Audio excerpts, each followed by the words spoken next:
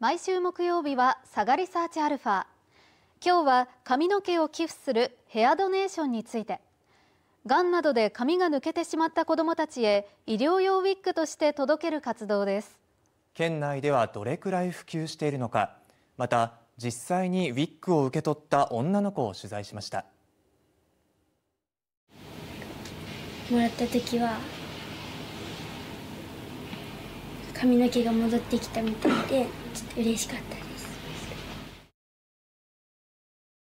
命が守られただけでもとかっていうことも考えもするんですけどやっぱりその髪の毛が戻ってきたっていう気持ちですごく明るくなって。伸ばした髪の毛を寄付するヘアドネーション。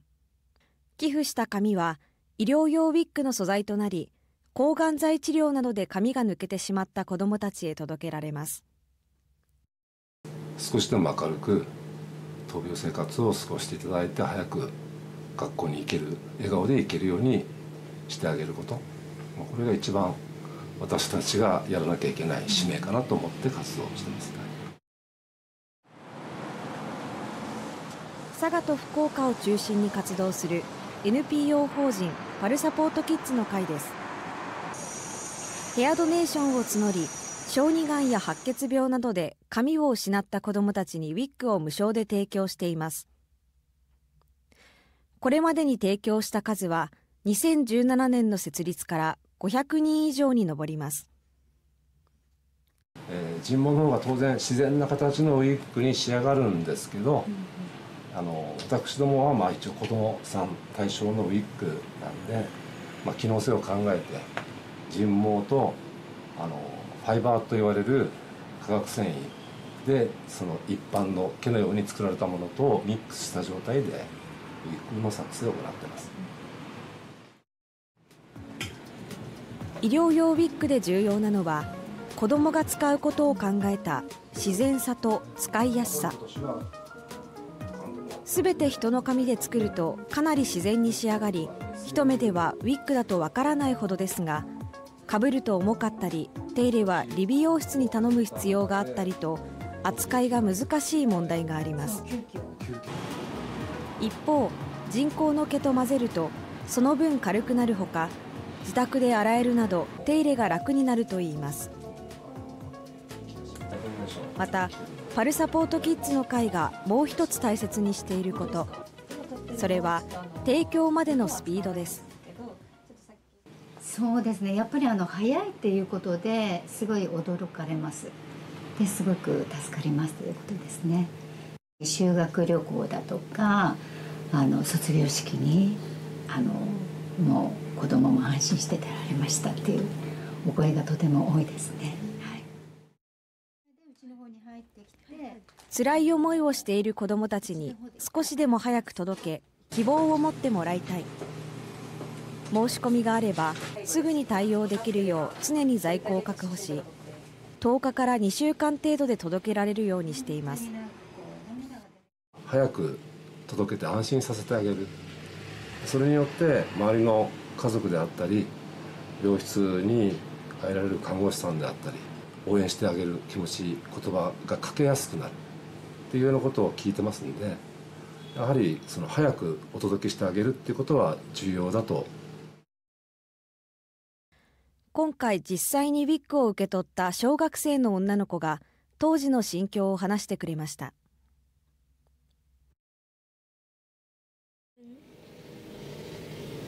ウィッグってなんか自分の髪の毛なんかどどう違うのかなって思ったり手触りとかがなんかどんな感じなのかなって思ってちょっと不安でした。吉川あかりちゃん12歳。今から4年前小学2年生の時に小児がんを発症し抗がん剤治療を受けました。病状は落ち着きましたがあかりちゃんを苦しめたのが髪の毛を失ったことただでさえその治療で頑張ってきたのにその後もうずっとその髪の毛のことが抜けてしまったということでやっぱりこう病気を直視してるような気持ちがすごくきついな辛いなという気持ちがありました。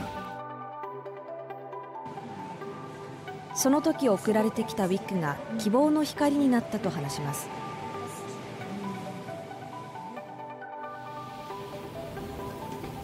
髪の毛がなんか最初抜けてたのでもらった時は髪の毛が戻ってきたみたいでちょっと嬉しかったです。命が守られただけでもとかっていうことも考えもするんですけどやっぱりその髪の毛が戻ってきたっていう気持ちですごく明るくなってであの病気もいい方向に向くっていうお話も聞いたこともあるし実際娘もあのすごく気持ちが明るくなったという経験もあるのでぜひこれからもこういう活動が続いてもらえたらなって思います。一方最近では耳にする機会も増えてきたヘアドネーションですが対応できる理美容室はまだまだ少ないのが現状です。体感としては増えたのかなっていうただ佐賀県佐賀市で見るともうちょっと知っていただいて増えていただけると助かるというかまあ嬉しいですね、はい、佐賀市にあるこちらの美容室では10年以上前からヘアドネーション用のカットを続けていますどのようなカットをするのか今回記者が実際にヘアドネーションを体験してみました。ヘアドネーションは基本的に31センチ以上の長さが必要で髪をいくつかの束に分けた後ヘアゴムできつく縛りその12センチ上を切ります。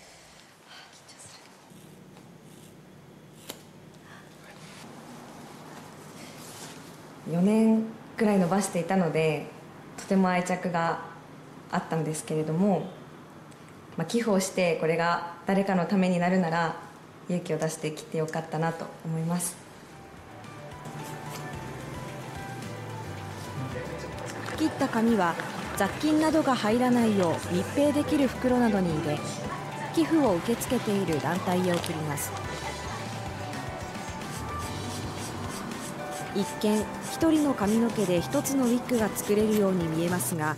1つを作るのに必要な量はなんと30人から40人分。集まった髪の中から使えない毛を取り除いたり毛質を揃えたりすることになるためかなりの量が必要だといいます。今年は200人以上の方に、えー、無償でプレゼントしてますけどこのヘアドネーションだけではもう到底対応できません。必要としているすべての子どもたちにウィッグを。そのためにはヘアドネーションに対応できる理美容室そして寄付する人がもっと増えることが重要です。あの今後ですね活動の輪を、まあ、他の団体さんも含めてですね広げていって少しでも明るいあの子どもたちが過ごしやすい環境をお役に少しでも立てればと思って活動していきたいと思っています。